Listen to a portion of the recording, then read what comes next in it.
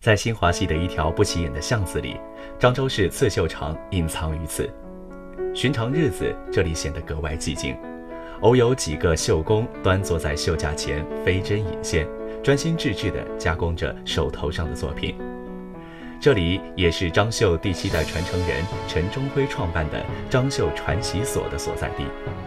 张绣即漳州刺绣，于二零零九年被列入福建省第三批非物质文化保护遗产名录。这门技艺的起源可以追溯到唐朝。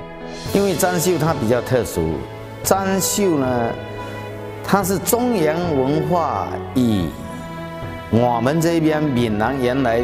我们所说的少数民族的古古业族、土著人的文化，两种文化混合在一起所产生的一种文化，叫闽南文化。所以呢，它有又有闽南原有的特色，又有中原原来文明传播下来的一些特点。早期的张绣以真丝织品为底，用真丝线和银金线针针缝合。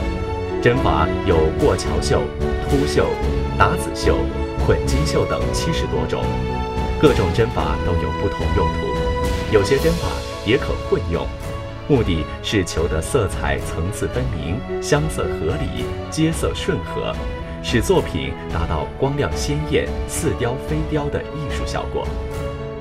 不管社会多么发展，民俗的民族的不能换去。只要是民俗民族文化，永远都不能忘却掉。一旦忘却掉，你就没了根。这一些实际上就中华民族的根。